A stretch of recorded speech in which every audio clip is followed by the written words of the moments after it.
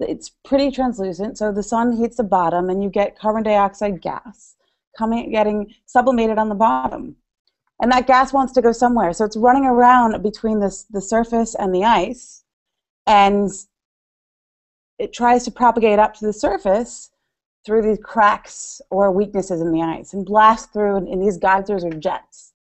And so we think is that these these jets are bringing material from down below up to the surface. And then it's these this the winds that are blowing this material into these dark fans or blotches. And so in the spring we see these these blotches and these dark fans start to appear and by the time there's summer and there's no ice left, they've completely disappeared. So what we think is really happening is that that dust and dirt underneath the ice sheet, you know, at the, at the surface, comes up in that, that gas that gets you know brought to the surface and then blown around. So when there's and so just because the ice sheet has a little bit of dust in it, it it changes the where how we're seeing it, so we can see these dark fans. But once that ice sheet is gone, the material looks exactly the same as it as the surface. And so we think that these spiders, these fans, can tell us about the, the Martian climate and really particularly the wind.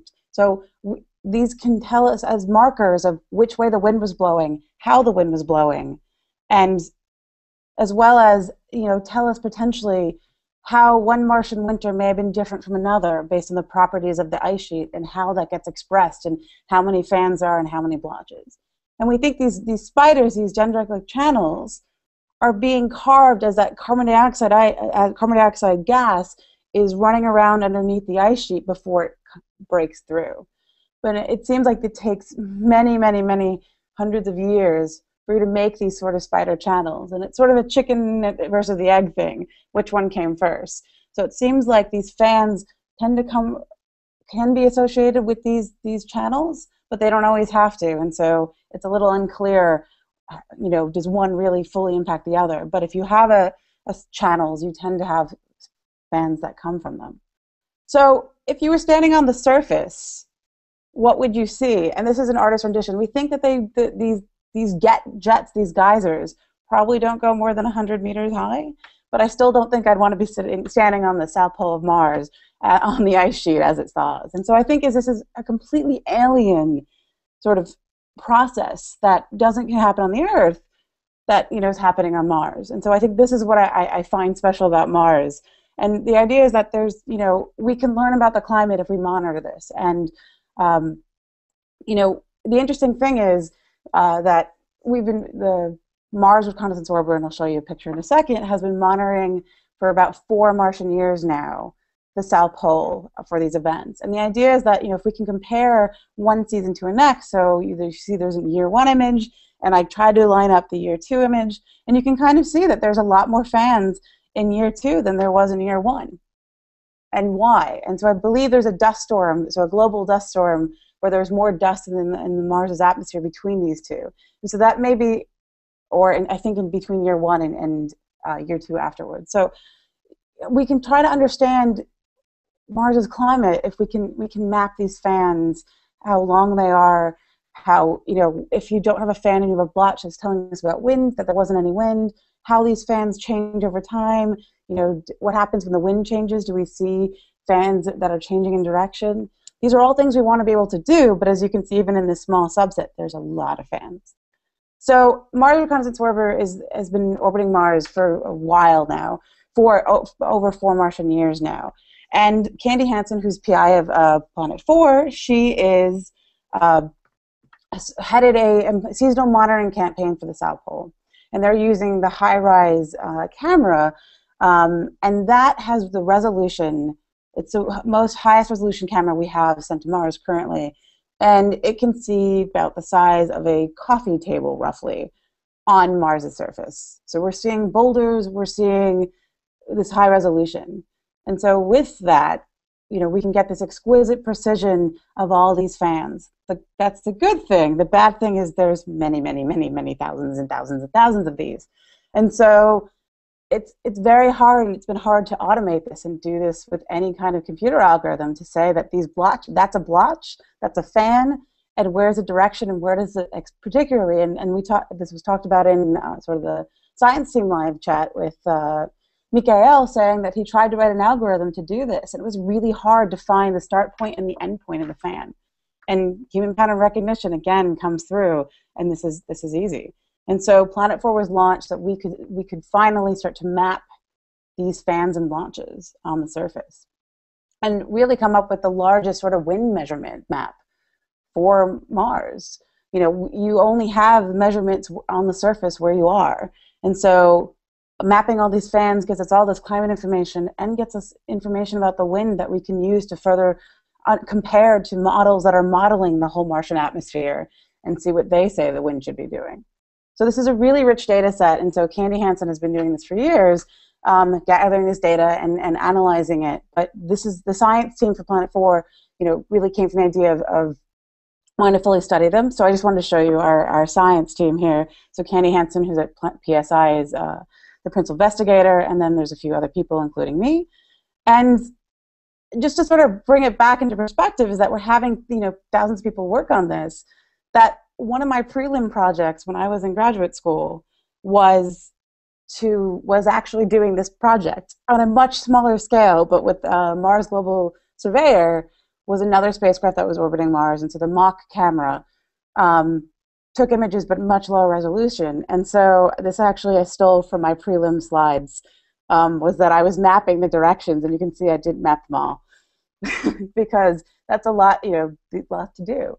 And even in this, you know, we were just trying to see how the wind directions might compare to to a global climate model that's modeling all the wind directions and and pressure and everything, all the properties of the Martian atmosphere. And so this is a project that you know we and Candy's been trying to do this for years to map all these fans that you can't have just one person do. And so when people when you if you're on Planet Four and you're actually marking, this is something that you know we do too. And so this is you know I started with this this data set as just a small little project, but you know, this is exactly what we, we need people to do is to mark all these because there's just so many. But, you know, that's the great thing about HiRISE is it has so much better precision than MOC that we can really start getting into a lot more detail. And so it's such a huge data set and a rich data set. And I think the response has been incredible with, with BBC Stargazing. And so I just want to talk a little bit about how we're now sort of being overwhelmed by data. There's tons of, of fans and launch markings that we now need to sort of combine to identify where they are. And I just wanted to show you sort of a quick look at the data. And here, uh, you can see that um, on the sort of, I guess it is the left and will be the left for you as well, that, you know, there's these circles and, and, and crosses. And so those are the positions of the blotches and the uh, fans that have been drawn by the, our volunteers that looked at this image. And so on the right, you can sort of see the, the unadulterated image there. And so you can see pretty well, the, the circles are the start points of the fans, and the red crosses are the, the centers of, of the blotches, the ellipse tool.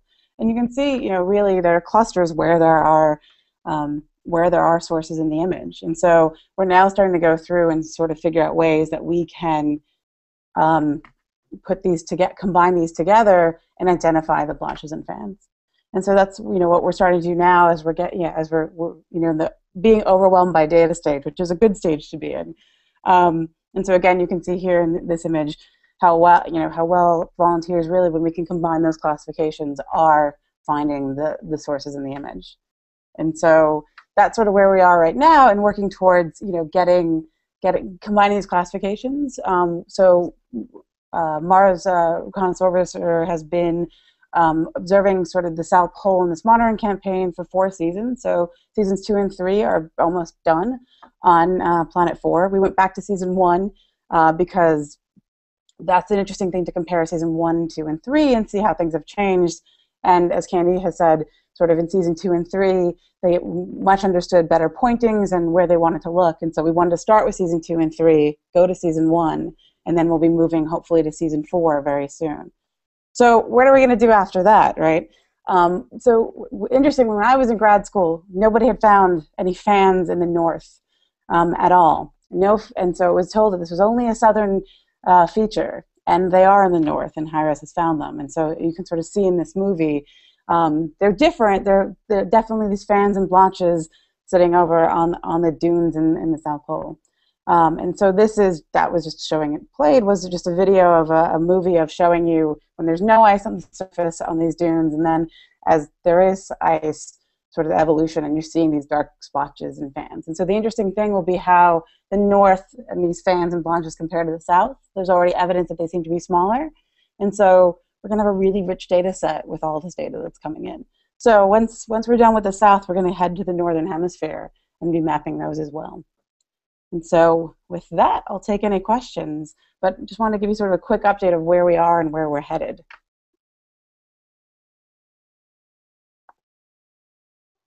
Okay, thank you, Mike.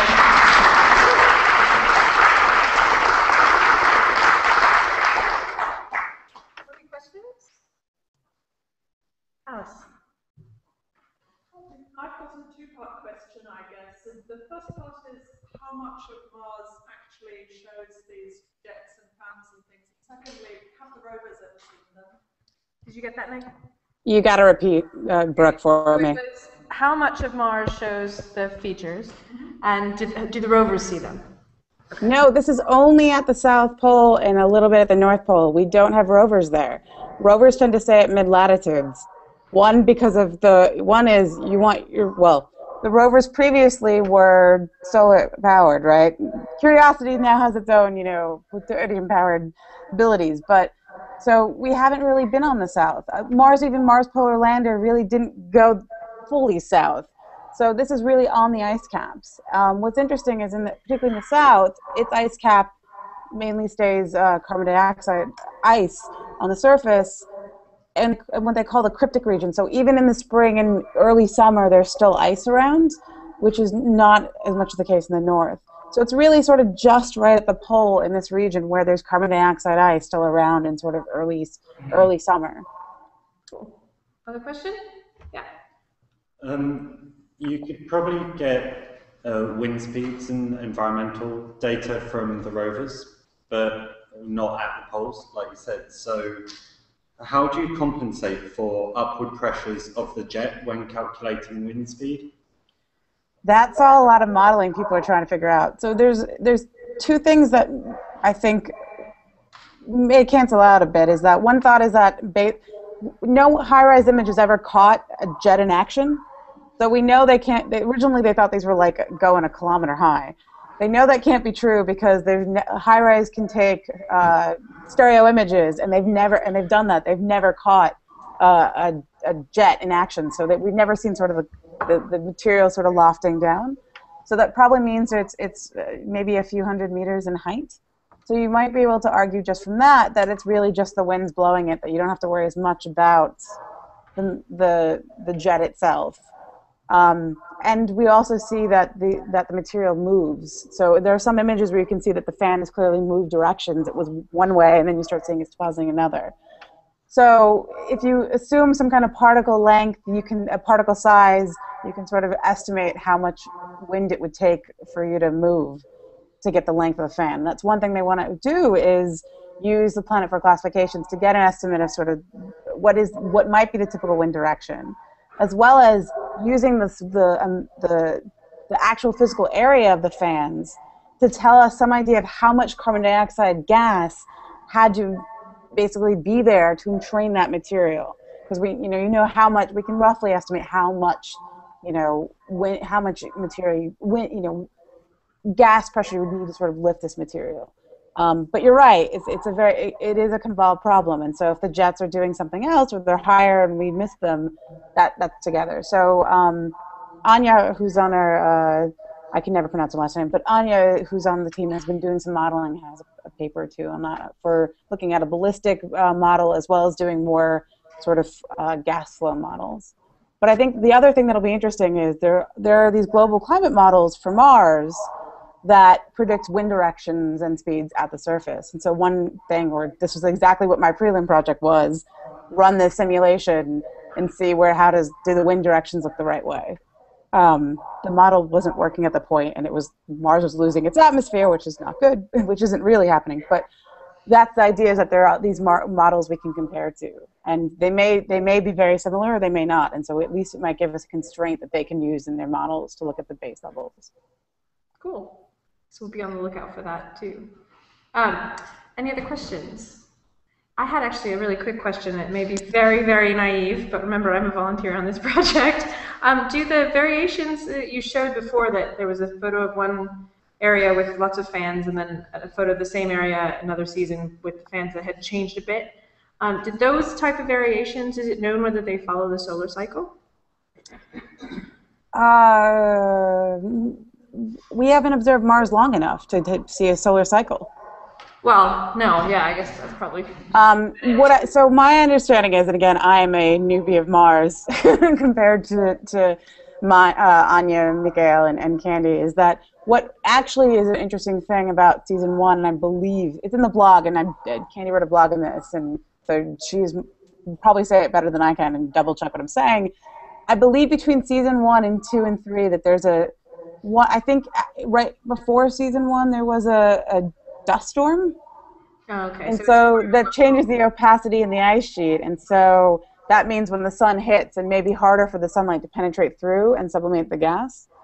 So, and that easier to look like look at solar variations on the surface if you didn't have as much of an atmosphere and certainly no people, but it looks like even the atmosphere there. Right. So the thing is, if there's more dust in the atmosphere, because the carbon dioxide is coming from the atmosphere, 30% of Mars's atmosphere condenses out. Cool. unlike unlike the Earth, so that's re- when they, that ice sheet forms. It's literally the carbon dioxide in the air condensing down into the ice sheet. So it mixes in it the, the atmospheric dust, you know, from the the red dust so one thing is looking at ice sheet thickness. So it's all kind of correlated. So I think you might be able to look at some of these solar effects, but I don't think they're going to be as important as how thick was that ice sheet. So one of the things that Anya and Candy are really interested in with the class with the classifications is, is how do those numbers of fans and blanches compare to change, or how, you know are they correlated with the thickness of the ice sheet, which we have measurements, of, we have estimates of from ground from ground, uh, ground penetrating radar and a couple other things. So that I think is going to be one constraint, and also how is that season one different from season two and three? How did that dust storm change things? Cool. All right. Well, thank you, Meg. Let's all thank Meg again. Okay.